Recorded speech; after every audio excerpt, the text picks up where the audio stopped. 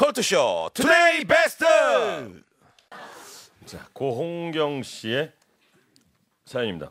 원피스 지퍼 올리기 라는 제목으로 저는 이 뚱뚱해요. 축하드립니다. 어, 시작부터 아주 에, 그리고 팔이 짧아요. 여기 군대 갔으면 뚱팔이 될 뻔했네요. 에, 그래서 뚱팔이. 펭귄처럼 보일 수 있죠. 그렇죠? 그래서 등에 손이 닿질 않아요. 와 미치겠다 진짜. 그런데 이분은 결혼을 하셨습니다. 다행이네요. 신혼 초의 일입니다. 에, 그날 따라 결혼 예복으로 맞췄던 원피스를 뻗쳐 입고 외출을 했다 돌아왔는데 이 등에 손이 닿질 않아서 이 지퍼를 내릴 수가 없었어요. 결혼식 때 급 다이어트로 빠졌던 살이 원상복구 되면서 예복 원피스는 온몸에 아주 꽉 끼어 있었죠. 할 수 없이 신랑을 기다리며 저녁 준비를 했어요. 어, 위- 윗배가 조여서 숨이 턱턱 막히더군요. 아, 그런데 그런데 신랑이 도착할 시간인데도 오질 않는 거예요. 에, 전화를 걸었어요. 자기야 어디야? 어 미안 나오다가 선배 누굴 좀 만나서 잠깐 얘기한다는 게 아주 좀 길어졌네. 얼른 갈게. 이, 그 말에 순간 욱했어요.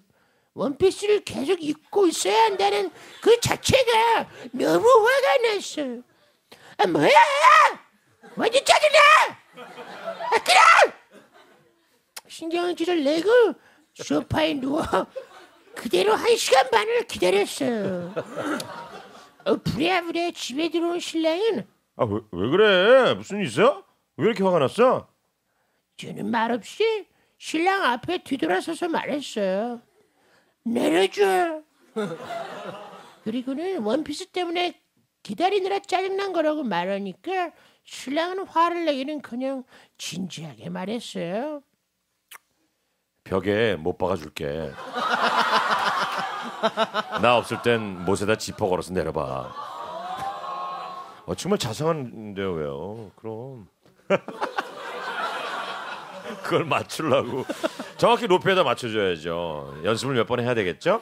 예, 약간 그게 되나? 못 끝에를 약간 구부려야 되겠죠? 그래야 원피스 잘 구- 내릴 수가 원피스 있습니다. 자크 구멍이 너무 작은데. 정말 아주 자상한 남편이네요. 아큰 고리 하나 달아주면 예, 되죠. 예, 예. 그리고 앞에 거울을 달아주고 옆에도 예, 사방에다 그러지, 거울을 그러지 달아주고 말고 단추 옷을 사요. 예. 살을 빼면 됩니다. 그 다음날 남편이 진짜로 못을 박아줬어요. 혼자 있을 때도 자유자재로 원피스를 벗을 수 있었답니다. 여보 사랑해. 아니 근데 그거 진짜 똑딱이 단추 같은 걸로 바꾸면 좀 쉽지 않나요? 좀 터질 수가 근데, 있잖아. 근데 터질 수가 평소에 평소에 열릴 수가 있죠. 터질 수가 아 있지. 평소에 여기요. 어!